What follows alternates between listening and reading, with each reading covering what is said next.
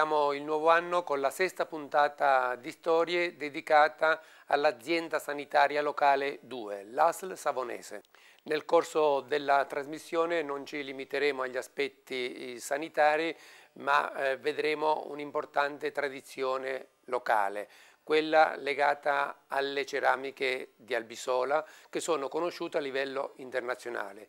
Milena Milani ha definito Albisola come la piccola Atene in riva al mare. L'AS Savonese è territorialmente divisa in quattro distretti. C'è un distretto di Savona, un distretto di Finale, un distretto della Valbormida e un distretto albenganese. All'interno di questi distretti vengono svolti servizi territoriali, lavorano quindi eh, ambulatori specialistici, consultori, medici di medicina generale e eh, abbiamo tutta una serie di servizi per i cittadini non ricoverati.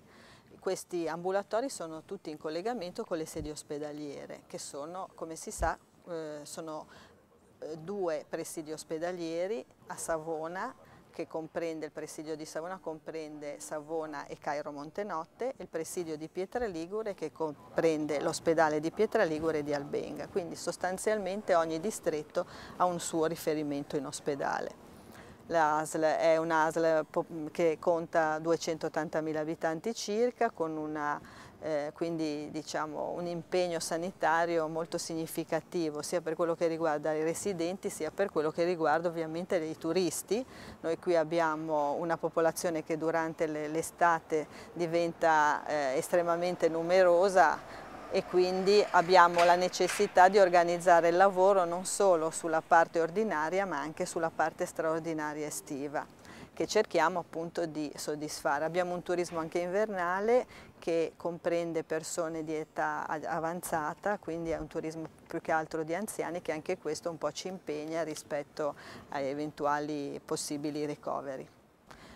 Abbiamo un sistema particolare di assistenza sul territorio che abbiamo potuto organizzare grazie alla collaborazione dei medici di famiglia, con i quali abbiamo stabilito questo tipo di organizzazione. I medici di famiglia eh, mantengono i propri ambulatori in eh, otto comuni aperti per 10 ore al giorno, dalle 9 alle 19 per 7 giorni alla settimana. Durante questo periodo c'è la possibilità di accedere a questi ambulatori eh, in maniera gratuita eh, durante il periodo settimanale, mentre sabato e la domenica abbiamo concordato un prezzo ufficiale che è di 25 euro, però c'è la possibilità dei cittadini di poter chiamare al telefono oppure anche presentarsi ed avere l'assistenza di uno dei medici che collaborano in questo sistema. Rappresenta la continuità assistenziale che cosa vuol dire? Vuol dire che ehm, questi medici garantiscono appunto la presenza e l'apertura di almeno un ambulatorio per 10 ore al giorno di tutti i giorni e danno quindi una risposta continuativa sia ai residenti che a quelli fuori provincia, d'estate e d'inverno e durante Natale e tutte le feste. Gli obiettivi sono diversi. Il, più, ehm, il, primo potrebbe essere quello di diminuire gli accessi impropri al pronto soccorso. In realtà ehm, questo eh, dipende un pochino dalle, dalle condizioni perché abbiamo verificato che ambulatori particolarmente vicini al pronto soccorso in realtà sono di supporto, ma frequentemente l'accesso al pronto soccorso c'è, mentre molto significativi sono i lavori dei, del, il lavoro degli ambulatori che si trovano lontano dal pronto soccorso. Allora effettivamente c'è una partecipazione del cittadino a, a, questi ambulatori che è significativa e quindi consente di alleggerire veramente il lavoro al pronto soccorso. Allora brevemente si può dire che il San Paolo nasce sul Priama nel 1513 sull'onda delle, del, delle confraternite che si ispiravano alla Vernazza e che avevano come modello l'ospedale Pamattone di Genova. Sul Priamar è stata un'esperienza per certi versi breve e sfortunata perché ha coinciso con le demolizioni genovesi del 1540 per cui l'ospedale viene raso al suolo e dopo una decina d'anni eh, viene eh, ricostruito dalla sua compagnia nella eh, località di Pozzo Vigneto, l'odierna via Ambrogio Onzo a Savona. Alla metà dell'Ottocento cambia nuovamente sede per portarci quella che è stata fino a,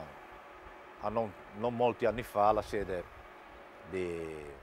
di Piazza Giulio II che poi ha avuto dei rimaneggiamenti, ricostruzioni, sopraelevazioni e poi negli, negli anni 60, a cominciare dal dopoguerra i progetti, poi dagli anni 60-70 si è realizzata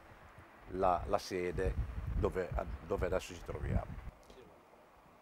Fare comunicazione in un'azienda sanitaria locale vuol dire, a diversità delle altre amministrazioni dello Stato, fare educazione sanitaria ed informazione sanitaria. Noi non siamo un ministero, un comune, una provincia, noi siamo un'azienda complessa, estremamente complessa. Dare ai cittadini queste risposte vuol dire innanzitutto informarli correttamente, spiegare dove sono i servizi, facilitarli nell'uso dei servizi ed educarli affinché nella cultura della prevenzione si ammalino il meno possibile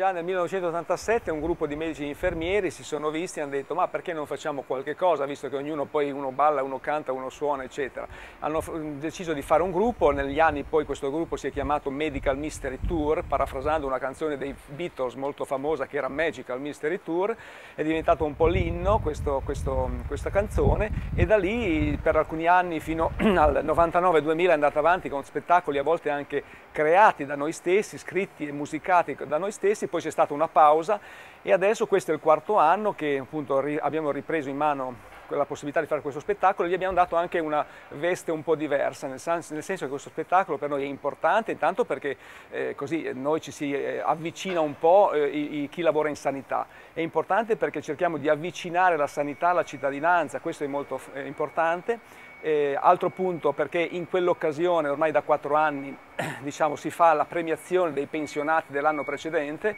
questa è un'altra cosa importantissima perché insomma diamo merito a chi ha lavorato per tanto tempo nella nostra ASL e premiamo i pensionati non solo della ASL ma anche del comune di Savona e della provincia di Savona. Infatti da quattro anni questa, questo spettacolo diciamo che è gestito un po' da tutti e tre eh, gli istituti, quindi comune, provincia e ASL e, e serve a questo. L'inizio risale agli anni 60, in cui, anni in cui il professor Mantero ha avuto l'incarico dal professor Scalfi all'epoca primario della chirurgia di questo ospedale, di incaricarsi di tutto ciò che era il mondo della mano, che all'epoca nessuno aveva assolutamente eh, conosciuto e è un terreno completamente inesplorato. La, il professor Mantero all'epoca, iniziando dai più grandi maestri che all'epoca in Europa eh, avevano iniziato a esplorare questo mondo così complicato, nel tempo costituito una scuola che è arrivata a raggiungere livelli di interesse nazionale già negli anni 70 e alla fine nel, nel 1996 ha portato alla creazione di questo centro regionale che è stato uno dei primi in Italia e che ancora oggi è uno dei centri di riferimento nazionali e internazionali di questa chirurgia. I riconoscimenti più recenti sono quelli che la Federazione Europea di Chirurgia della Mano ci ha attribuito attestandoci come trauma center di livello europeo per tutta l'emergenza della traumatologia della mano. Il nostro centro, per come è strutturato adesso, rasenta arriviamo quasi a 3.000 interventi all'anno. Interventi ovviamente divisi tra patologia di elezione e l'urgenza che ci occupa per circa 500 interventi all'anno il 30% dei nostri pazienti proviene da fuori regione. L'acceleratore lineare è la tecnologia più avanzata che oggi abbiamo per la cura dei tumori. E le macchine sono tra di loro simili anche se hanno delle diversità eh, strutturali una delle altre, però essenzialmente l'accelerazione dei raggi X con una certa energia, nel caso della macchina in oggetto eh, abbiamo due, due range di energia 6 e 18 megavolt, servono le energie differenti per arrivare a profondità eh, diverse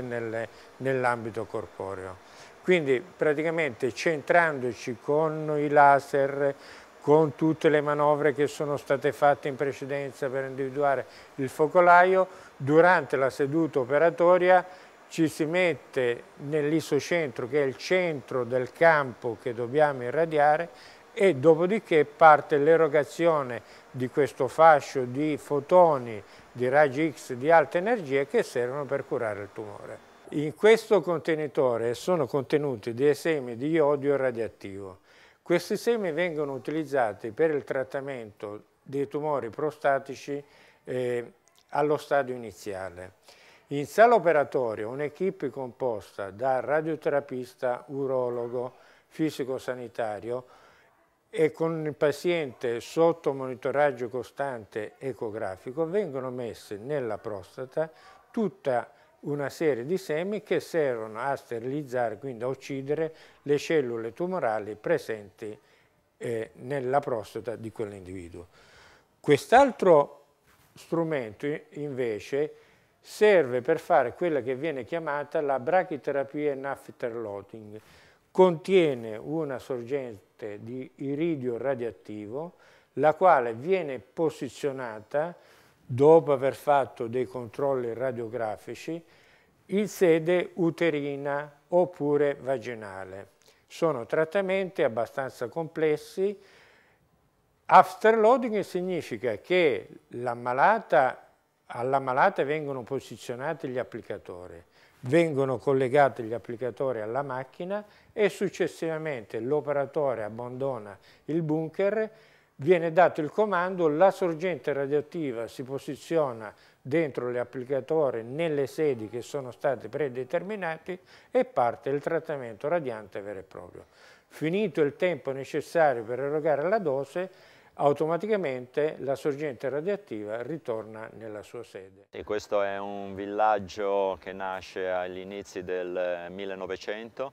e nasce come villaggio degli operai del cantiere navale qua di Pietraligure e per dare dimora, per dare abitazione appunto agli operai del cantiere all'inizio alcune palazzine risalgono proprio ancora a quell'epoca lì, poi man mano si è sviluppato nel tempo per passare a ospedale allora dipendente dalla regione Lombardia e tuttora alla regione Liguria. Nasce come colonia elioterapica della regione Lombardia, allora non regione perché parliamo ancora appunto degli anni in cui le regioni non c'erano ancora, e per la cura appunto delle malattie dalla tubercolosi ad altro e sfruttando soprattutto quello che è il tempo come oggi, la stagione, il mare, il sole e quindi molte palazzine erano dedicate proprio alla cura di queste malattie qua, ripeto la prima la TBC ma non solo quella con forme appunto di elioterapia. Arriviamo appunto quasi ai giorni nostri, parliamo di circa 30 anni fa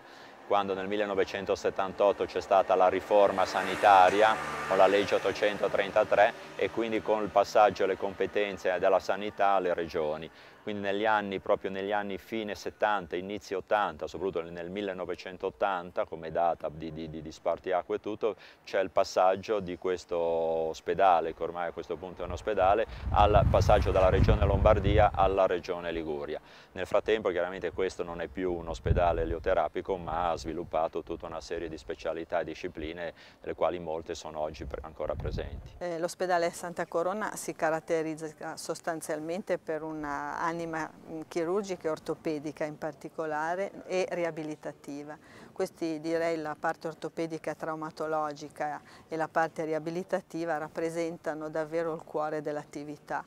La parte riabilitativa poi ha una eccellenza che è rappresentata dall'unità spinale eh, che eh, è un, ehm,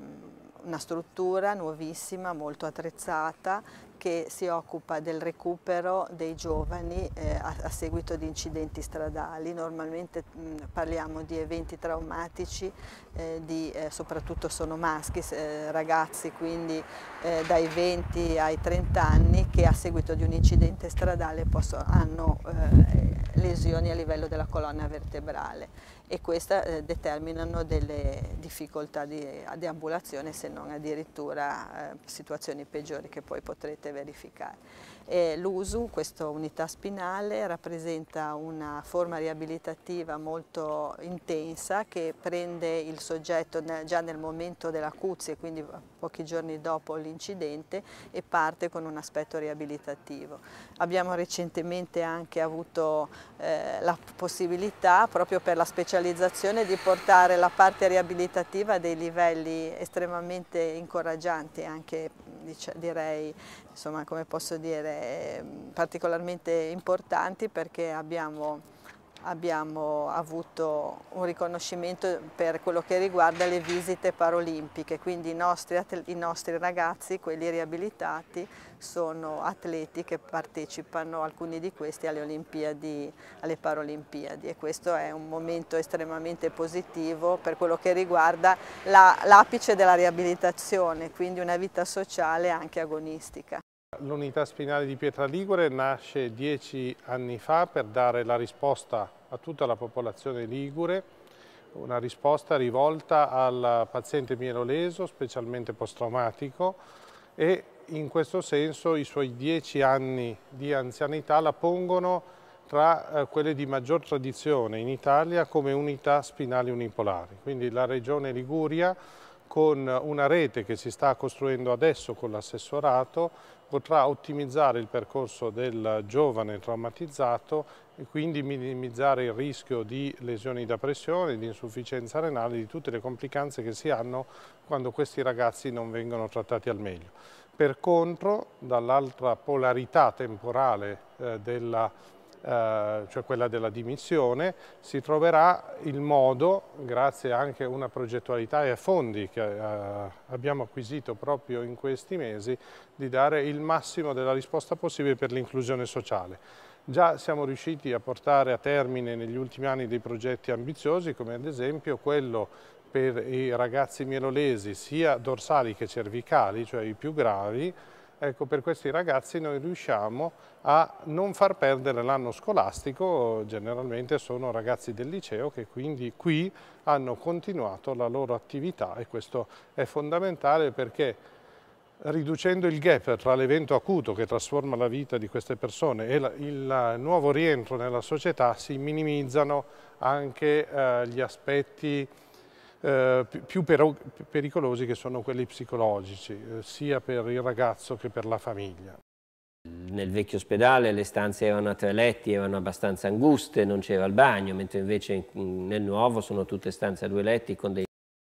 moderni che permettono eh, al paziente di, di, di muoversi, al, agli infermieri di muoverlo, eh, risulta meno faticoso portare il paziente dalla sala operatoria al, al reparto. E, mm, e, quindi insomma è quanto di tecnologicamente più avanzato ci sia, sia dal punto di vista degenziale sia eh, dal punto di vista eh, chirurgico vero e proprio. Io sono primario chirurgo e la nostra sala operatoria è indubbiamente la più bella che c'è in Liguria e in Italia non ce ne sono tante così eh, tecnologicamente avanzate.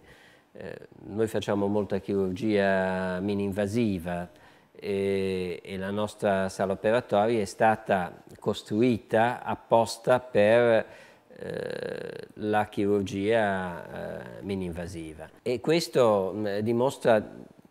quanto l'albenganese sia attaccato al proprio ospedale. La Valbormida sono circa 40.000 abitanti, dislocati in una zona che è di montagna, quindi è anche poco agibile, poco arrivarci, perché i nostri sono 19 comuni. Credo che il distretto abbia un ruolo sia sociale che sanitario per il ruolo sanitario è sempre esistito, nel senso che è facile trovare dei servizi che si interessano della salute del cittadino anche sul territorio. Poi c'è anche l'ospedale, ma diciamo che l'apprezzamento è territoriale. Il fatto di unire sociale e sanitario credo che possa dare dei grandi risultati. Perché? Perché chi non meglio dei sindaci, chi non meglio degli assessori, chi non meglio dei servizi sociali che conoscono diciamo, le regole e, le, e quello che l'utente può essere in difficoltà, può avere problematiche legate, le faccio un esempio molto semplice, il fondo della non autosufficienza. Si è creata la Regione Liguria, un fondo che è destinato ai cittadini meno abbienti per poter risolvere i problemi di tenere a casa queste persone.